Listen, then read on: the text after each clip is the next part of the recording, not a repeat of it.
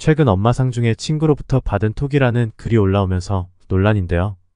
글쓴이는 1년 전 친정엄마 돌아가셔서 상중일 때 9년치기 동네 친구로 회비 모임도 같이 내며 지내는 친구로부터 받은 톡이라고 말하였습니다.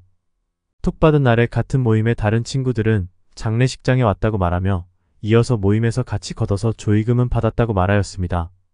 이후 해당 톡 받은 후로 정 떨어졌다고 말하며 제가 예민했던 건지 그럴만했는지 네티즌들에게 카카오톡 내용을 공개하며 의견을 구했습니다. 카카오톡에는 글쓴이 모친상에 가지 못하는 글쓴이 친구의 사정이 담겨 있었는데요. 내용을 보면 얼마나 놀랐니? 삼가 고인의 명복을 빕니다. 라고 짧은 인사를 한 뒤 장문의 이유를 써 내려갔습니다. 그러면서 친구는 어제 퇴근하고 집에 와보니 세탁기에 물이 조금 있었는데 거기에 우리 앵무새가 빠져 죽어 있었다라며 날개가 젖어 날아오르지 못하고 차갑게 식어 죽은 것 같다라고 했습니다. 이어 6년이나 애지중지 키우며 아침에도 30년 같이 살자고 뽀뽀도 했는데 이렇게 허망하게 보낼 줄 몰랐다라며 충격이 너무 커서 계속 안고 따뜻하게 해주다 이제 화장하러 간다라고 했습니다. 그러면서 너의 슬픔도 크지만 나의 슬픔도 이해해달라며 너무 예뻐했던 아가라라고 말하였습니다. 이어 나중에 얼굴 보자라고 덧붙였습니다.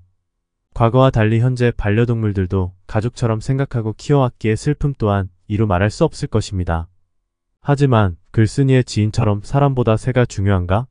라는 생각이 드는데요. 사족을 달아 굳이 인간관계를 끊으려고 했나 하는 생각이 드네요. 앵무새보다 못한 사람이라. 이에 네티즌들은 사정이 있어서 못 간다고 하고 말았으면 차라리 나았을 텐데 이건 뭐 약 올리는 것도 아니고 나라면 그냥 조용히 연락 끊을 듯 안 하느니만 못한 말을 길게 하는구나 등의 반응을 보였습니다. 그러면서 한 네티즌은 반려동물 죽은 거랑 친구 부모님 돌아가신 거랑 슬픔이 같다고 생각하는 건가? 라며 되물어보자 반려동물 키우는 사람들은 정말 그렇게 생각할 거라는 답변을 달기도 하였습니다. 여러분들은 이런 사람에 대해 어떻게 생각하시나요? 의견을 남겨주세요.